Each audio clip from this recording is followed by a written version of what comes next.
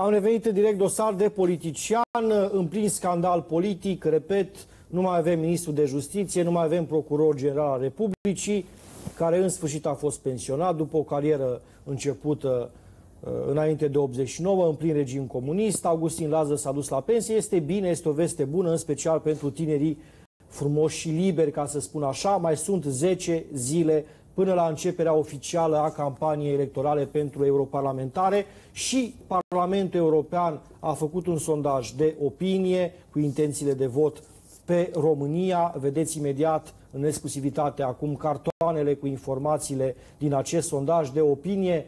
Partidul Național Liberal ar fi, conform acestui sondaj, pe primul loc,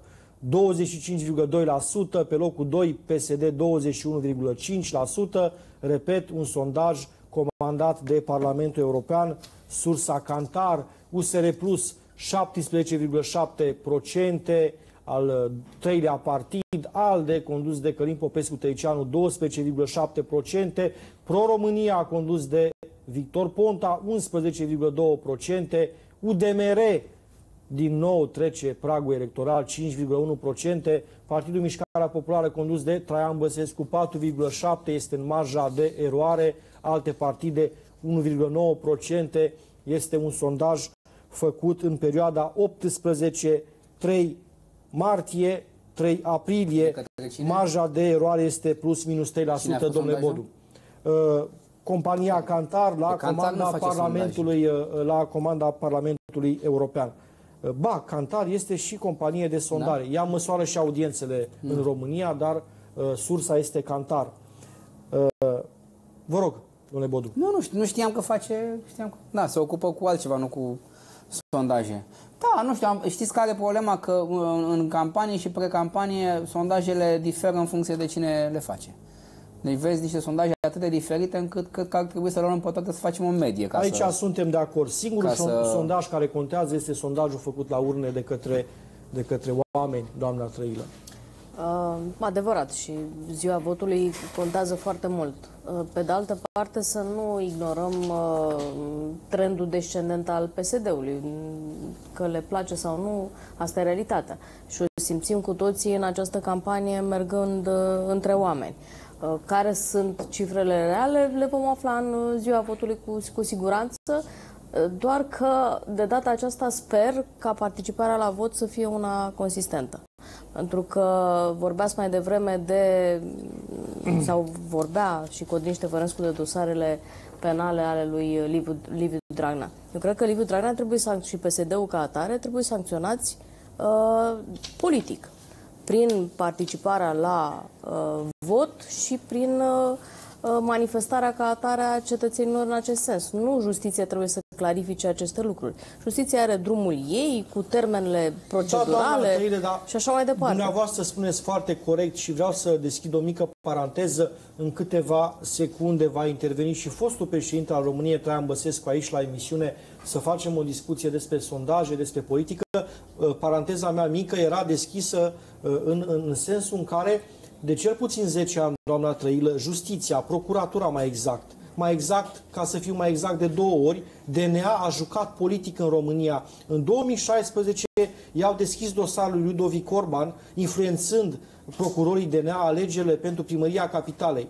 De aproape trei ani de zile, doamna Firea conduce capitala României pentru că, sub o formă sau alta, DNA a intervenit în jocul politic atunci de la alegeri, a scos candidatul uh, uh, liberalilor, da, candidatul dreptei, l-a scos din joc pe Ludovic Orban și a deschis uh, calea pentru, pentru doamna Firea să câștige primăria capitalei. Uh, vă dau un alt exemplu pe invers. În aceeași perioadă în care DNA-ul îl lua pe Orban, DNA-ul o lua pe Olguța Vasilescu, care stătea undeva la 40%, după ce au arestat-o pe Olguța Vasilescu, a câștigat primăria Craiovei cu 70%, doamna Trăilă.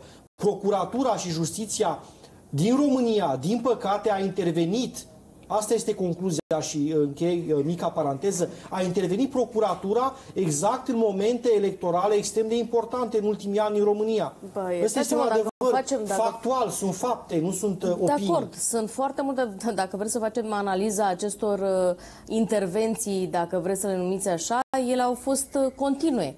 Dar nu sunt intervenții, e cursul firesc al unei justiții. Până la urmă să ne uităm. Noi, de exemplu, Partidul Național Liberal, am ales, poate bine sau rău, să, în momentul în care au fost primari de-ai noștri care stăteau foarte bine în sondaje, să luăm niște decizii în interiorul partidului Da, și, și-ați să pierdut nu alegeri. și am pierdut alegerile. E adevărat, ne-am asumat acest lucru. Dar pe de altă parte, acele, acele dosare Da, dar au după curs aceea independent. Plângeți, plângeți că România este condusă de PSD și că nu merge bine la nivel de administrație, la Eu- nivel de administrație centrală, da? Păi, Păi iertați-mă, Primar dar care după decizia, aceea- decizia, după aceea au fost achitați. decizia tră- nu numai primari, și primari care au fost Cine achitați, mai bagă în și seamă un cazul om care fostului este președinte achitat, Sebastian uh, Bodu? Vasile Vă Blaga spuneți, și așa și-au- mai și-au departe. asumat, între ghilimele, să piardă alegerile. Domnul Traian Băsescu este prin telefon și mai fac o mică paranteză. Da, acum două zile, Sorin Blejnar, un personaj de altfel hulit în România, care are o imagine foarte proastă la nivelul opiniei publice. Sorin Blejnar, da, fostul președinte ANAF. El a fost achitat acum două zile,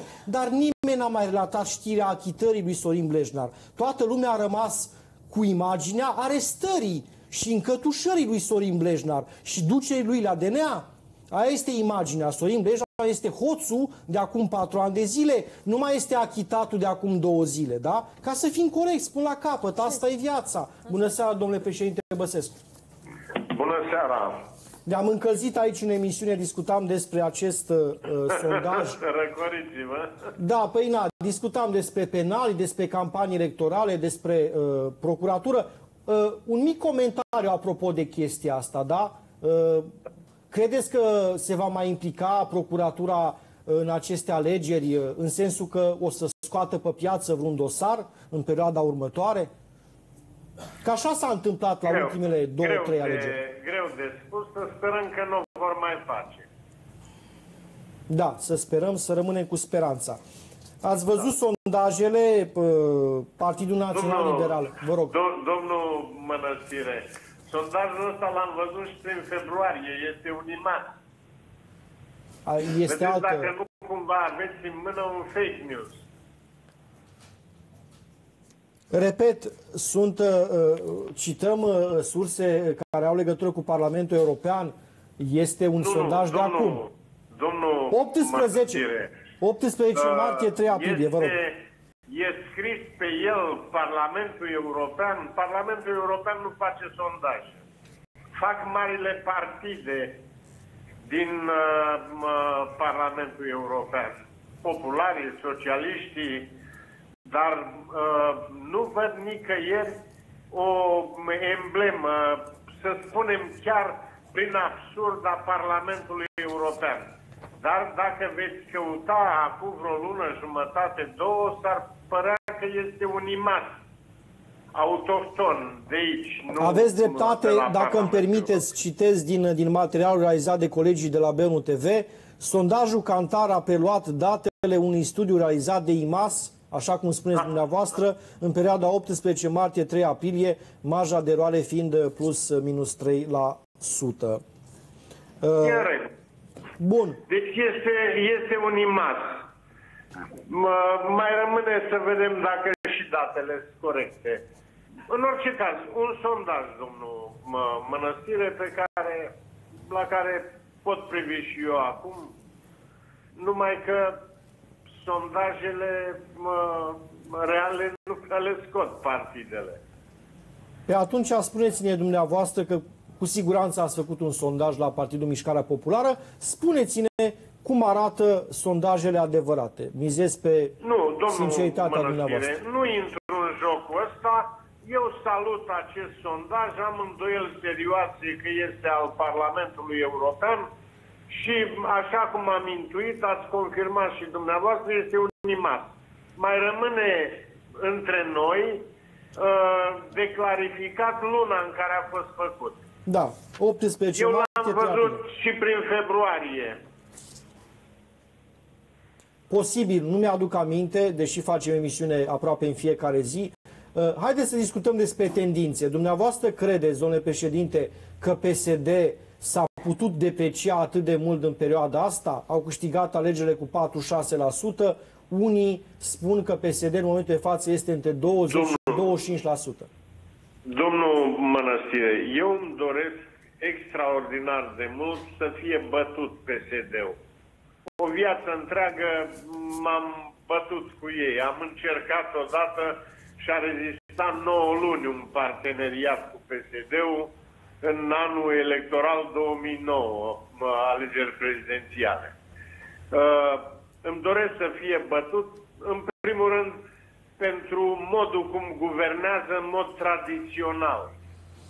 O tradi- o, întotdeauna au garantat asigurări de tip rapt, uh, în care s-au întâmplat uh, marile lovituri date și economiei românești și mediului de afaceri.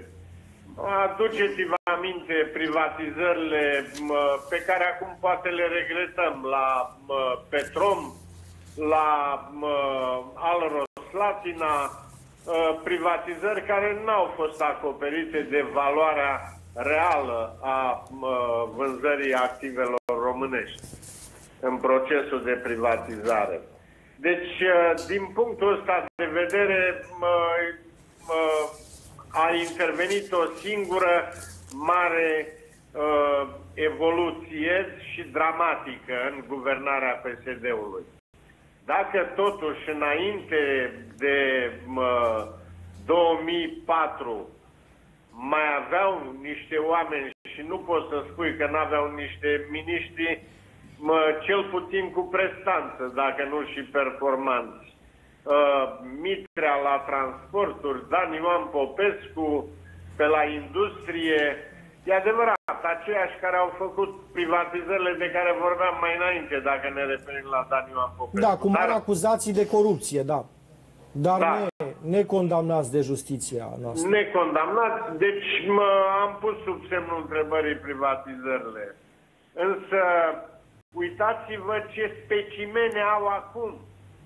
Uitați-vă la guvern și comparați cu miniștrii de dinainte de 2004 ai PSD-ului. De la vârful partidului, de la mă, Dragnea, care mă, încă mai mă, și acum e convins că poate să guverneze o țară în stil uh, președinte de Consiliul Județean la Teleorman, și mergeți mai departe, luați miniștri unul câte unul și puneți-i lângă miniștrii PSD-ului dinainte de 2004. Sunt jalnici, calitativ. Uh, nu mai vorbim de analfabetismul economic, mă, dar și de analfabetismul funcțional, care se întinde la prim-ministru până la ultimul ministru. Deci, uh, uh, în condițiile astea este posibil să alunece foarte rapid la vale uh, PSD-ul și pe fondul uh, concentrării efortului mediatic și de influență pe salvarea lui Dragnea. Eu nu-l acuz încă, când l-o acuza mă, justiția, o să-l acuz și eu, ce știu însă în mod cert, pentru o acuzație pe care o are și nu o recunoaște, este că la referendumul pentru care a fost condamnat s-au furat circa 2 milioane de voturi. Cu morți, cu oameni din străinătate care n-au călcat prin România, dar au figurat ca fiind semnatari și votanți în secțiile de votare, iar eu o mică, o mică precizare, domnule Băsescu. Acuzația asta cu 2 milioane n-a fost dovedită de justiție, în sensul că Dragnea l-au condamnat pentru niște, uh, de asta, niște escrocherii. Uh, prima lui, uh, prima lui condamnare cu suspendare, Domnul, că a făcut niște tombole. N-a zis justiția că s-au furat 2 milioane. Este o declarație nu politică a dumneavoastră. Aduceți-vă aminte ce supărare a fost când se luau declarațiile. Eu am uh, uh, monstre de furt în secțiile de votare. Le am și le pun la dispoziție oricând doriți.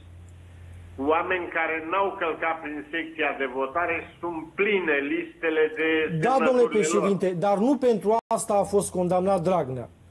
Nu pentru această hoție generalizată de care spuneți dumneavoastră. A fost condamnat pentru niște prostii de pe la Teleorman, într-un județ, nu pentru o chestiune globală făcută la nivelul Știți național. cumva în ce an a fost condamnat domnul Mă- Mănăstire? În 2015.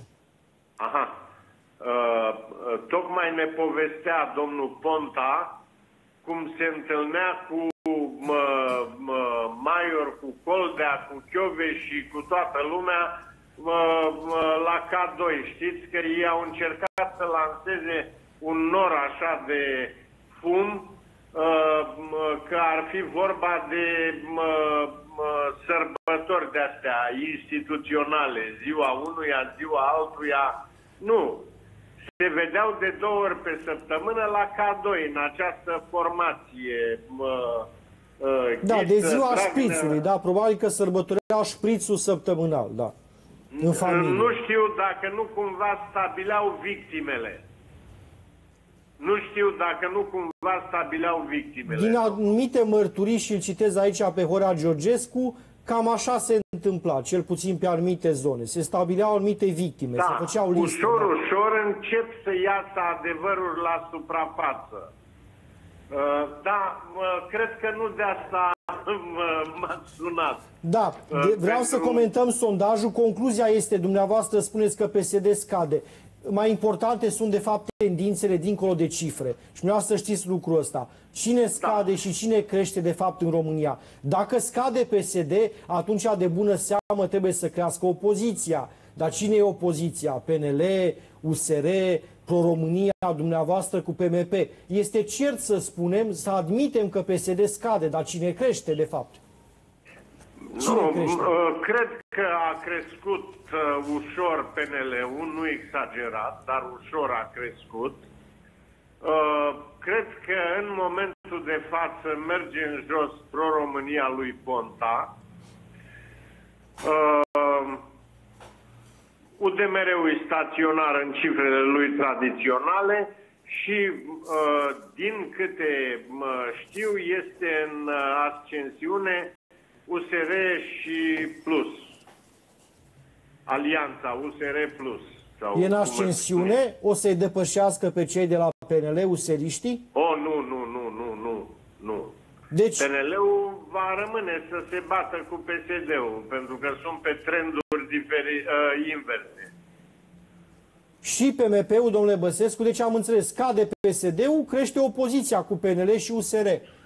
Și scade Pro-România, PMP-ul. PMP-ul va fi surpriza alegerilor, dar nu vreau să intru în uh, detaliile astea. O mică- PNL-ul va, uh, PMP-ul va obține un rezultat bun. Bun, un mic comentariu exact, un minut, vă rog frumos, legat de declarația lui Dragnea. A spus că el vrea să elibereze România de această căpușă numită Iohannis și că va răspunde pesediștilor când o să fie momentul dacă va candida la președinția României. De ce credeți că Deci, insistă Dragnea cu povestea asta? uh, Căpușa acestei țări se numește Dragnea, nu Iohannis. El este căpușa de care trebuie scăpat. Și aș vrea să fac un comentariu scurt totuși despre Tudorel Toader. Vreau să știți că este un om care mă, mi-a fost antipatic toată viața lui. Mai ales când era mă, mă, la Curtea Constituțională și eu președinte. Vota mă întotdeauna împotriva toca. dumneavoastră. Da. Da. Uh, însă, Tudorel Toader știe carte. Iar Tudorel Toader a făcut câteva lucruri foarte bune. Era mai înainte dezbaterea și ce a făcut dacă e mare profesor universitar.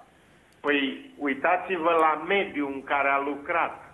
Eu sunt foarte mulțumit că a reușit să separe cariera magistraților, că a reușit să stabilească termene de vechime ca să ajungi uh, procuror sau judecător de înaltă curte sau de parchet general.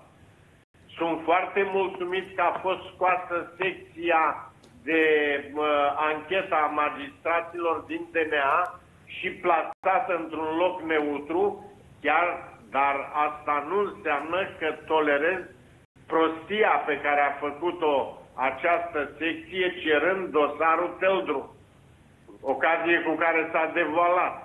O, mai deci, mult decât o prostie ca opinie personală, este o mizerie judiciară ce au făcut cei de la secție, da? Nu se da, face așa ceva. ceva. am spus o prostie nefiind atât de specializat ca dumneavoastră în, în mizerie uh, judiciare. în a comenta da. mizerii judiciare, că deci, uh, nu le fac, n-am cum nu, să le fac. Vă rog. Nu cred că Tudorel Toader uh, uh, a avut uh, o perioadă în care n-a lăsat o dâră pentru justiție, a lăsat niște urme, uh, însă a lucrat într-un mediu extrem de ostil. Extrem Dar de, de, ostil. de ce a acceptat să fie slugă? La noi în Ardeal este o vorbă, domnule Băsescu. De ce vei să fii slugă la Dârloagă?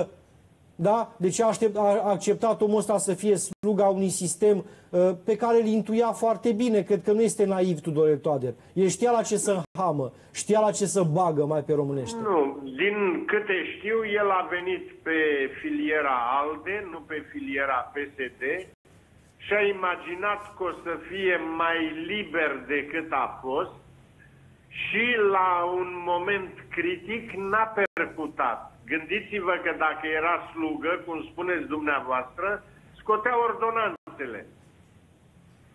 Eu l-am apreciat că a rezistat presiunii de a scoate ordonanțele de care avea nevoie drag. Mulțumesc mult pentru intervenție. Așadar, Tudor Toader a fost un uh, rezistent. Mulțumesc, domnule Băsescu. Dan Bucura, revenind la sondaj de opinie, tu crezi uh, în mod real că cei de la PNL au crescut atât de mult?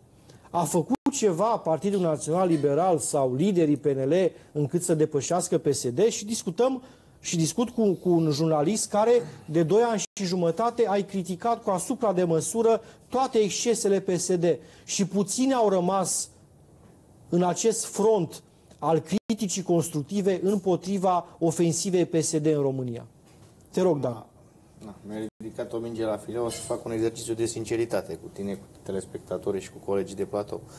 În primul rând, despre sondajul cu pricina, nu cred o iotă în el și cred că se aplică pe deplin principiul la vorba aia românească, cine dă banul comandă muzica. Acum hai să vedem cine a dat banul, că Traian Băsescu ne-a, ne-a luminat aici. PNL-ul, da. Adică, sincer, mă iluminase Gabriela Firea până să vin la voi cu festivalul ăsta psihoedelic care a blocat Bucureștiul. Acum Traian Băsescu chiar m-a, m-a scos la liman cu povestea cu Scuză-mă, îmi, îmi, schie, îmi schie un pesedist uh, un da. mesaj acum, zice, cred că am citit greșit mesajul, PNL are 35 și PSD da. 11. Bun, o ironie. Nu văd, nu văd o ironie de mare apocalipsa, da. însă ca să continui exercițiul de sinceritate de care vorbeam, uh, vreau să spun un lucru. Uh, mi-am pus speranțe după crearea și apariția, după construirea acestui mariaj nefiresc, netradițional și forțat, dacă vrei, dintre PNL și PDL-ul vechi,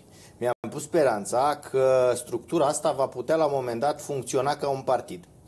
Și chiar am crezut, deși mi se părea complet imposibil de făcut melanjul respectiv. Astăzi, când avem o listă de candidați la europarlamentare a partidului nou format PNL, care ar trebui să reprezinte poate singura sau una din marile șanse ale e, României de a se scutura precum calul lui Harap Alb de această ciumă roșie, constat așa. Constat că lupta asta electorală a PNL-ului este, e, hai să nu folosesc un termen foarte dur, dar cel puțin flască, Constat că PNL-ul... Moale, moale. Da, eu am zis flască, așa... Moale. Da, da moale. Constat ne, că ne există ne da? o campanie e, integrală construită în spatele unui singur om și cum cu o floare nu poți să faci primăvară, cred că cu un Rareș Bogdan nu poți să scoți PNL-ul din haznaua electorală în care era înainte.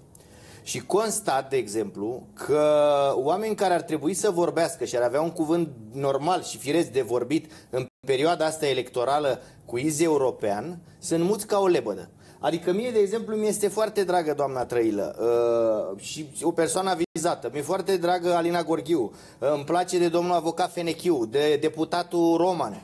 Dar oamenii aceștia nu aveau ce să caute în perioada asta în studiourile de televiziune vorbind despre alegeri europarlamentare și despre mersul României în Europa. Aici trebuiau să fie ei alți de sub lista lui Rareș Bogdan. A, să nu fie muți, candidații da, exact, candidații, dragul meu, care smuți ca o lebădă, tac și nu zic nimic. De partea elaltă am văzut că PSD-ul, care totdeauna pe care l-am criticat și i-am reproșat lucruri și așa mai departe, trimite inclusiv în studiourile neprietenoase, cum ca să-l citesc pe Codrin Ștefănescu, că am tăcut și când a intervenit el. Dar când am auzit-o pe aia cu presa voastră, îmi venea să vărs paharul de apă, dar n-am vrut să mă enervez, că, repet, mă iluminase Gabriela Firea cu luminile ei psihodelice.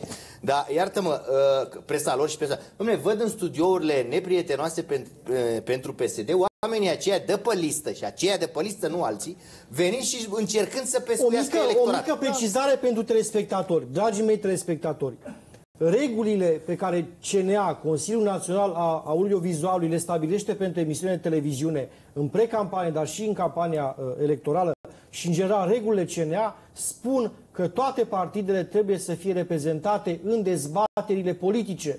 De aceea, aici și în alte emisiuni ale colegilor mei sunt reprezentanți ai PSD, ai PNL, ai USR, ai Pro-România, ai PMP și al celorlalte partide parlamentare. Ca să închidem paranteza, să lămurim și lucrurile astea, că erau unii care scriau, domnule, de ce apar la tine pesediști? Ei bine, ce să vezi, pesediștii sunt și ei politicieni. Iar politicienii care sunt implicați în campanie electorală și fac parte din scena politică, trebuie să fie reprezentați în studiouri, în dezbateri politice, conform legii. Că așa este legea în România, ați înțeles?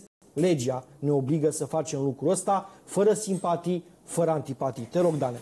Acum, deci nu vreau să mă monopolizez discuția, dar din punctul meu de vedere, dacă uh, oamenii aceștia, repet, uh, uniți într-un mariaj nefiresc acum câțiva ani, nu vor trece peste toate problemele astea și nu vor pune osul la muncă și vor zice că floarea aia ajunge ca să facă primăvară. Care floare, domnul? Da. Floarea din capăt, Rareș Bogdan, care nu, este nu, prezentă... Nu, nu, facem dezbaterea, vă rog, da. interveniți. Dan Bucura spune o chestie foarte Batista. Doamna Trăilă, candidații... Doamna Trăilă, are dreptate Dan Bucura, candidații PNL la europarlamentare nu vin în dezbateri, nu prea apar în spațiu public. Două observații. Unu, Sondajul nu este comandat de PNL și era nevoie de această observație pentru că IMAS-ul are un contract cu USR-ul și în baza acelui contract a venit acest sondaj. Asta ca o precizare era nevoie. A doua chestiune, campania propriu-zisă nu a început. Știți bine că începe cu o lună înainte, acolo, acolo vorbim de timpii de campanie alocat și așa mai departe. Candidații vor fi prezenți.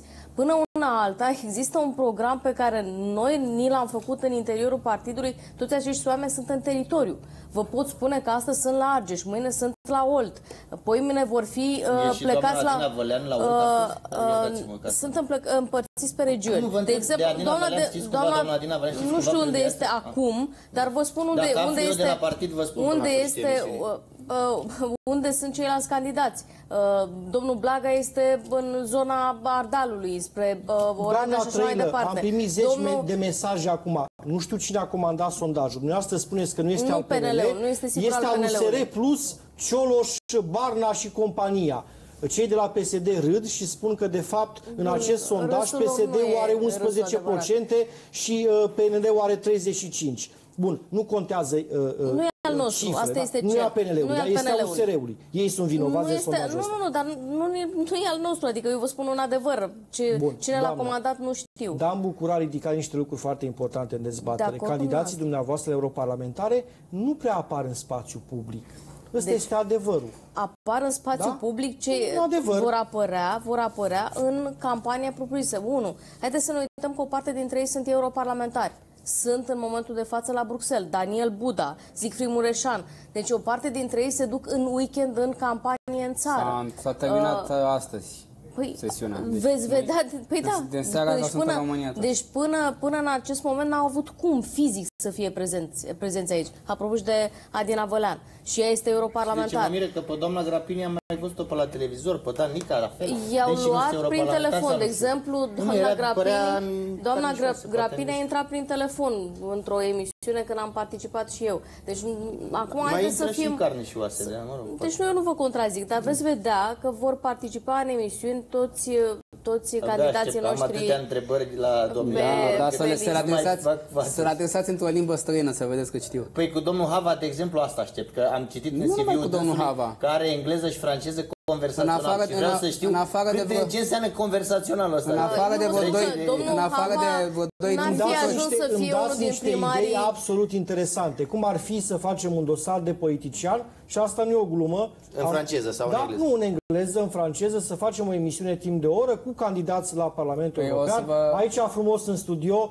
Veți în engleză, da, să discutăm despre chestiuni Vă spun eu de acum, da? să invitați mai pe Marija Marinescu și pe bă, Adina Vărean. Atât? Doi? Da, doi. Nu este adevărat. Deci și pe Radu Bogdan, nu fiți... Nu știu, că nu-i politician. Zic Mureșan știe ceva? Da, și zic. Păi nu, deci mai măriți un pic lista. La PSD, cine știe? Da. Limba engleză, limba franceză?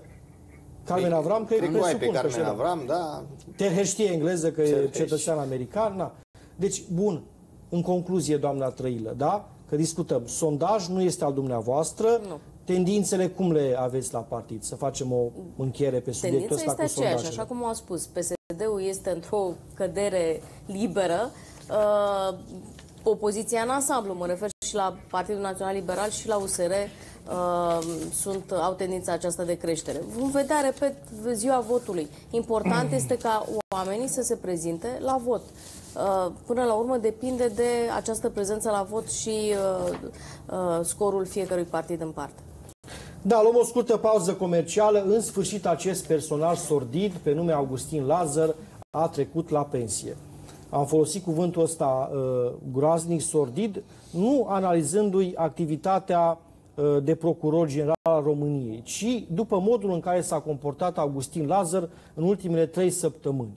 În ultimele trei săptămâni, Augustin Lazar, care are meritele lui la momentul respectiv, acum câteva luni, acum un an și jumătate, încercând să se lupte pe modificările pe care PSD încerca să, să le facă la legile justiției, dar comportamentul din ultimele trei săptămâni, repet, ale procurorului general al Republicii au fost sordide.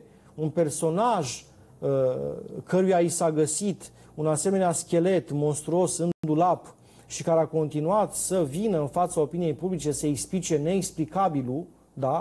Repet, acest personaj și-a, practic, și-a uh, dinamitat cariera uh, în ultimele trei săptămâni. Uh, vestea bună este că va merge la pensie și că va beneficia, uh, dragii mei telespectatori, așa cum dumneavoastră nu beneficiați de o pensie de peste 20.000 de ron pe lună. Repet, Augustin Lazar pleacă la pensie acest procuror comunist cu o pensie de aproape 5.000 de euro pe lună. Pentru că așa funcționează țara asta, dragii mei. Și atunci când vă mai gândiți să mai protejați, să mai apărați, să mai faceți, cum să spun eu, uh, campanie pentru un personaj sau pentru alt personaj, gândiți-vă ce beneficii au oamenii ăștia de la vârful statului român. Că se numesc procurori generali, că se numesc miniștri, prim-miniștri, șef de partide, deputați, parlamentari și așa mai departe. Da? Nu le mai cântați în strună. Nici lui Augustin Lazar. Omul ăsta merge la pensie cu aproape 5.000 de euro pe lună. Și sunt unii care îi plâng de milă. Nu-i mai plângeți de milă, că este fericit, este bogat, este putre de bogat. Intrați pe site-ul parchetului general și vedeți declarația lui de avere. Pauză și revenim cu analiza acestui personal sordid. Noi ne-am început activitatea înainte de 1989, generația mea. Suntem noi oare vinovați că ne-am născut înainte de 1989? Suntem oare noi vinovați că am studiat, am terminat uh, universitatea în anii 80, înainte de Revoluție? Eu am explicat faptul că erau niște standarde tehnice pe care trebuiam să le respectăm. Noi nu aveam nimic politic de făcut, adică uh, procurorii și judecătorii din acea vreme trebuiau să se conformeze legii care era în uh, vigoare. După după cum știți, în 27 aprilie 2019 expiră mandatul uh, procurorului general și este firesc în acest uh, context să îndepun o cerere de pensionare. Prin urmare, am uh, decis ca acest uh, mandat, care, într-o mică paranteză fie spus, uh, a fost cât două mandate prin densitatea problemelor de rezolvat și prin dosarele pe care le-am soluționat, este suficient pentru campania murdară care s-a purtat împotriva mea. Am depus o cerere pentru apărarea reputației la Consiliul Superior al magistraturii. Cu greu pot să-l ascult pe Augustin Lazar. Ar trebui să-mi comand niște lămâie. Nu am lămâie aici în studio. Asta e viața. Mm, o replică a lui mi s-a părut uh, groaznică. Uh, procurorii din comunist trebuiau să se conformeze legii comuniste care era în vigoare și asta e viața. Domnul Lazar, nu v-a obligat nimeni să faceți parte din comisii de eliberare uh, a deținuților politici. Aveați 28 de ani, nu povestiți la televizor și la, la, pe la radio că v-a obligat cineva să faceți parte din aceste comisii. Au fost mii de procurori comuniști care n-au făcut parte din aceste comisii uh, din penitenciare privind uh, eliberarea condiționată a deținuților politici despre care dumneavoastră știați că sunt deținuți politici. Că acolo pe penitenciarul Aiud, deținuții politici stăteau în corpul T și ceilalți stăteau în altă parte. Dumneavoastră știați cu cine vă vedeți uh, la, uh, la comisie respective, domnule Bun. O secundă, că am, am o, o, o, nu, dacă ai făcut totuși parte, ca și ai crezut tu că e bine în vremurile alea. Doamne, n-ai decența că atunci când ajungi într-o societate care s-a lepădat de mizeria asta de comunism, să ai bunul simț și să pleci în pensie, că apropo de pensie cu asta închid. Dom'le, eu am acum o mare bucurie că pe 25 ale lunii la sfârșit acum pot să mă duc să-mi plătesc taxele, impozitele, dările către da, stat ca să fie bani să, la bani pentru pensia individului ăsta. Abia aștept și eu și toți românii probabil. Să mergem, dragilor, să plătim taxele ca să-i dea lui Augustin Lazar 20.000 de lei pensii. Doamne. Da, e bine, că, e bine că pleacă. Probabil că scandalul a ajuns atât de mare. Vedeți că s-a rostogolit, s-a rostogolit și s-a făcut mai mare și mai mare. Deci dacă la început câțiva am fost care am zis, domnule, nu-i normal. Deci ai fost atunci, nu mai poți să fii și acum. Da? Ți-am găsit chestia asta, nu poți spui, domne, astea erau vremurile. Și am dat exemplu cu procurorii și judecătorii din perioada uh, uh, 1933-1945 în Germania. Da? Ei au plecat acasă. Toți. Nu toți. Unii au plecat la pușcărie. Sau da. la, la Nuremberg au fost 12 procese, între care unul a fost al judecătorilor și a procurorilor. Ăia mai zeloși și au plecat vreo 15 ani la pușcărie. Care și au aplicat legea, ca și toți au apărat la fel. Toți au zis, domnule, asta era legea, n-am făcut-o eu. Am aplicat-o. Inclusiv uh, ofițeri SS au zis, inclusiv uh, Eichmann, da? Când l-au da. prins în Ce treabă am eu cu nebun am fost, de, de, am de fost Hitler, un da. executant, da. am organizat trenurile, nu i-am trimis eu pe evrei la uh, lagările morții, dar eu doar i-am băgat în tren. El a fost un bun organizator al trenurilor, da? Și tot a primit scaunul Ca și Gusti Lazar, el organiza bine aceste mă comisii de, de eliberare în sensul că îi ținea pe deținuți la pârnaie, la da, pușcărie. eu n-am zis că am, n-am pus semnul egalității între Augustin Lazar și Eichmann. N-am făcut Nu, evident, asta. nu. Nu, deci să nu se înțeleagă nu, greșit. Ați, ați făcut un apel la un, da. la un, la la un, un exemplu istoric. Da? Exemplu istoric, da? Deci am făcut o, da. un, un silogism, da? Pentru că, și aici cred, regimul comunist din România, că sunt unii care mănâncă foarte mult punct, punct, punct, ca să nu folosesc expresia să mă amădeze CNA-ul. Regimul comunist din România și din alte țări a fost la fel de criminal ca și regimul nazist. Și mai Terminați o dată cu tâmpenile că, domnule, că comunismul, că o fi, că o pății, nu. Comunismul a fost un regim criminal, la fel ca și regimul nazist. Punct. Dacă ne uităm la numărul de victime, cam pe acolo, milioane și unul și altul. Uh, deci, uh, Augustin Lazar, dacă a avut uh, chestia asta de care n-am știut, că zice, domnule, de ce acum când se numește nou procuror general? Păi că acum am aflat. Că dacă am fi aflat mai devreme, scandalul ar fi și mai devreme, dar acum am aflat. Drept urmare, dacă ai chestia asta, te duci acasă, măcar atâta. Ai bunul simț să duci acasă, nu spui, domnule, știi, eu sunt justiția. Dați în mine, dați în fabrici și uzine pentru că eu sunt justiția. Nu! A zis la un moment dat o chestie abominabilă. Zice, nu este în interesul societății să da. plec, să-mi dau demisia. Da. Cum adică? Bă, omule, tu ești societatea? Da. Nu este da. interesul societății, cum, cum ar veni, da. el este cavalerul da. îmbrăcat eu, în alt care protejează eu sunt justiția și eu societatea. Da. Nu, nici, nici, o, nici o instituție nu stă într-un singur om. Deci dacă ai chestia asta și am mai spus, aceste comisii de liberă condiționate se făceau, uh, nu era o chestie până rotație, se făcea până delegare. Deci așa spune legea de la momentul ăla, da? O lege din 1968 privind uh, liberările condiționate. Se făceau până delegare. Deci tu puteai să refuzi delegarea. Nu e nicio problemă. Probabil că l-a fi mustruit la partid. Că știți, el a fost membru de partid la 19 ani. Eu, nu, eu, eu care sunt născut în 1970, deci la Revoluție aveam 19 ani, nu am nicio cunoștință care din să, generația, din generația ta, mea care Bodu. să fie membru de partid. Eu nu cunosc pe nimeni. N-am auzit de așa ceva. Deci cei care s-au făcut erau foarte zeloși. Deci să te faci la 19 ani membru de partid, trebuie să fii foarte zelos sau foarte oportunist. Una dintre chestiile astea două. Deci el nu a intrat în partid cum se intra de obicei în facultate. Că până anul 3-4, dacă aveai rezultate bune, venea să hai mă, nu vrei să te înscrii, că uite, carieră. Sau și dacă intrai în procuratură, dacă erai da. bun și intrai în procuratură, la un moment dat îi spunea, bă, prietene, da, da, ai în Partidul se, Comunist, ai partid, că nu se procuror, poate, da? Adică în partid. Deci el a fost bă, bă, membru al Partidului Comunist înainte să intre la facultate. Da? Deci era probabil în armată. Deci la 19 ani probabil era în armată, a făcut la armată la termen. Da, la, termen la TR, după la, liceu. Nu, la, nu la termen da. dus, la termen normal. Da. La, așa. Și după ce a intrat la facultate. Drept urmare, el a fost probabil mai zelos. Și în cazul ăsta, suprapunând aceste două informații, este posibil ca din zel să se fi dus în acea comisie. Da, doamna Trăilă, o campanie murdară, zice Augustin Lazar, care s-a purtat împotriva lui uh, și a depus o cerere, atenție, pentru apărarea reputației, zice domnul Lazar, la CSM. Pe mine mă surprinde că la momentul la care a fost numit prima oară lucrurile acestea nu au fost verificate. Adică mă gândesc că atunci ar fi trebuit să apară toate aceste informații, de vreme cum păi spune unde Sebastian, să fie verificate, uh, că nu e, n-a făcut păi, poliție politică, deci în sens de Păi, în sensul dar legii. În sensul să ne legi. gândim că nu, el a evident, fost, el a fost numit în guvernul uh, Cioloș, nu? De ministru Prună. Da, deci, așa este. cred că ar fi trebuit să fie lucrurile acestea uh, Păi și cine devine spuse... că nu s-au aflat atunci? Le-a ascuns cineva? E o chestie, inclusiv uh, numirea lui în funcție este o chestie dubioasă doamna Prună, întrebată după aceea, după o, o, o perioadă de timp, dacă l-a cunoscut pe Augustin Lazar, a spus că l-a cunoscut în ziua în care i-a, i-a făcut uh, propunerea de numire în funcția de procuror general. Acum nimeni nu vrea să-și mai asume uh, numirea acestui Augustin Lazar.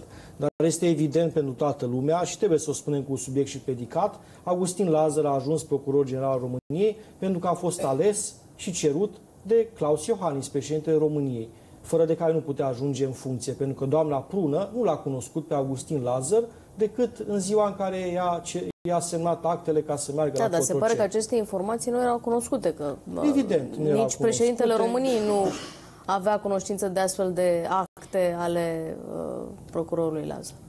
Ca să fie foarte uh, bine înțeles, nu i-am criticat activitatea lui Augustin Lazar uh, de dinainte de începutul acestui scandal, deși dacă l-am luat la bani mărunți și l-am întrebat, băi, Augustin Lazar, domnule Augustin Lazar, domnule procuror comunist, ce ai făcut trei ani de zile, patru ani de zile aproape în funcția asta de procuror general? Nu ai făcut ceva, ai reformat sistemul, asta este altă discuție, Dan Bucura. Atitudinea de după începutul scandalului nu, mi s-a părut uh, halucinantă. Domnul Măstire, uh, o secundă. Puțin. Nu știu ce a făcut după. Poate a fost un procuror general ok. Procuror general nu trebuie să facă lucruri spectaculoase.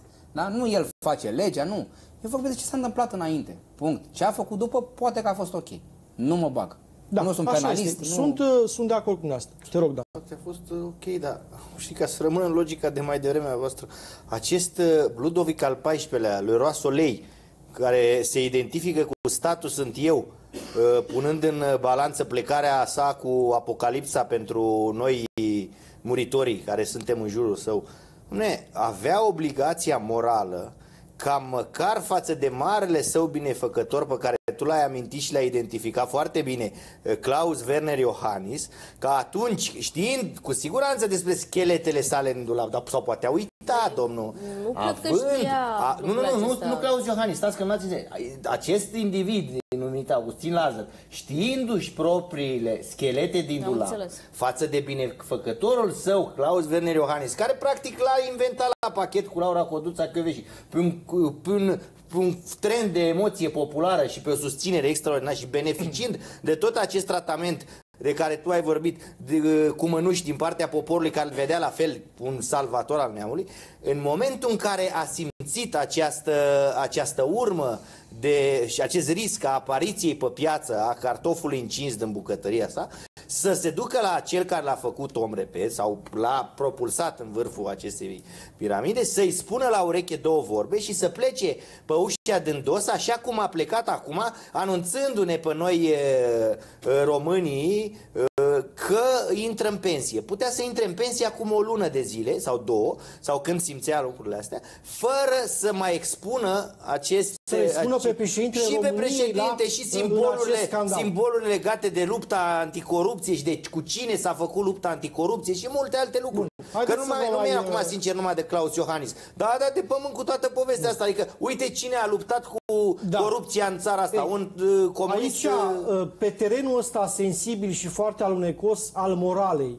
da? Pentru că Augustin Lazar vine cu argumente morale. Eu m-am bătut cu PSD-ul, eu am oprit ciuma roșie de trei ani de zile și atunci eu am îndituirea morală ca să mi se permită să rămân procuror și eu de fapt meritele mele de-aia am primit premiul de la GDS, de-aia președintele Iohannis uh, m-a ținut în funcție pentru că eu am calitatea morală, pentru că am ținut uh, piept cu uh, PSD-ul. Și o să vă spun niște lucruri. Și Dan Bucura cred că poate confirma lucrurile astea. De-a lungul carierei de jurnalist am cunoscut și eu procurori comuniști. De dinainte de 89 și Dan tu la fel. Dar niciun procuror comunist, în marea, marea lor majoritate, da? nici unul nu mi-a ținut lecții de democrație, nu s-a arătat deontolog, nu a început să vorbească despre marile lui calități de om care luptă pentru dreptate, pentru justiție. De regulă mulți și-au dat seama că au făcut parte dintr-un sistem ticălos, și au văzut de treabă, au ieșit la pensie când le-a venit pensia și nu s-au dat deontologi nu a vrut să se co cocoațe, să fie etaloane de moralitate și cei care dau, care sunt farele călăuzitoare ale moralității și ale justiției din România, cum a jucat teatrul ăsta de prost gust Augustin Lază. Da?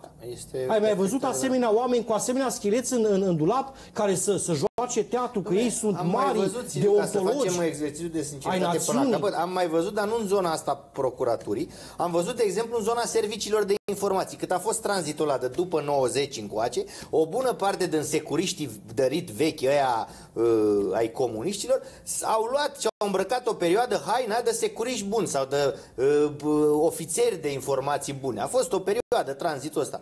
Dar la un moment dat că i-am mai împins pe scări generația nouă, că s-au mai simțit ei. Dom'le, au dispărut până și ei, o bună bucată de, de vreme au, au, au mai tranzit și au dispărut. E uite că te trezești la 30 de ani după Revoluție cu un personaj de genul ăsta la care nu te gândeai inclusiv prin prisma tinereții sale din acele vremuri. Că eu aici am fost șocat până la urmă, am mai uitat odată și la CV-ul omului când am aflat știrea. Mă, câți ani avea asta de împărțea dreptatea la uh, deținuților la politici, la, la politici, da. Și am văzut că da, era tânăr totuși, la 20 și puțin de primăveri, era pe acolo, era în treabă, cum s-ar zice. Uite că s-a încăpățânat să rămână în treabă până acum, când se duce în pensie să, să ne mănânce nouă taxele și impozitele. Domnul Mănăstiră, ironic vă spun, Știți ce cred că a accelerat această cerere de pensionare? Premiul de la GDS. A enervat atât de tare, a văzut că și-au dat demisia de acolo din GDS, încât cred, cred că asta a accelerat. Deci a făcut mai mult rău decât bine. Da, mulțumesc foarte mult pentru prezență, doamna Tăilă, Dan Bucura, Sebastian Bodu. Rămâneți pe BNU TV, urmează colegul nostru Radu Banciu. Ne revedem duminică, o seară bună în continuare. Numai bine!